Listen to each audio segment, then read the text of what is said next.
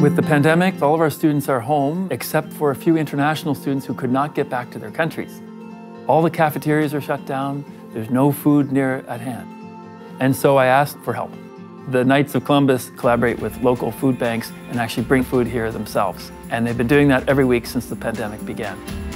The Knights of Columbus or why Inner City, is able to provide the food and support for those students who we really want to keep safe in our community.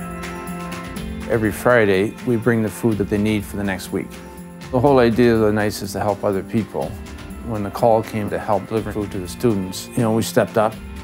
For the Knights to be there, it's just tremendous and it reflects the whole mission of the Knights. Thanks Knights of Columbus for helping us and leaving no neighbors behind. I really appreciate it.